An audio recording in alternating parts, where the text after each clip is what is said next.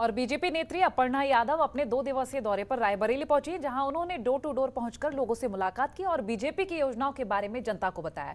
साथ ही प्रभावी मतदाता मीटिंग में महिलाओं से संवाद किया। वहीं पूर्ण बहुमत से बीजेपी सरकार आने का उन्होंने दावा भी किया है।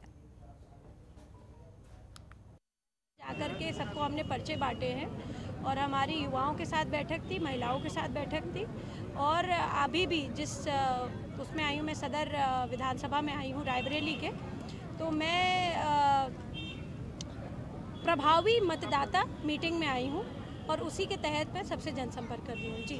मतदाताओं से क्या रुझान मिल रहा है? किस तरीके से बातचीत बहुत अच्छा रुझान मिल रहा है। सभी बहुत खुश हैं और कई लोग बहुत संतुष्ट हैं कि उनको राशन मिल रही है उनको जो है दवाई मिल रही है और जो है, बहुत सारे महिलाओं से मैंने पूछा कि आपको किस प्रकार की सुविधाएँ मिल रही हैं तो उन्होंने शौचालय के बारे में भी बात करी और जो है, उज्ज्वला के लिए भी बात करी।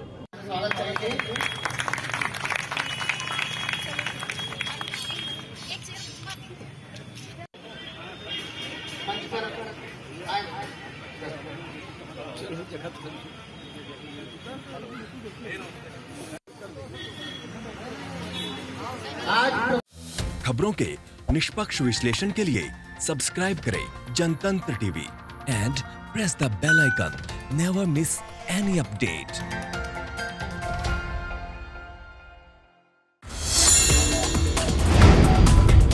download the Jantantra TV app available on Google Play and App Store download it now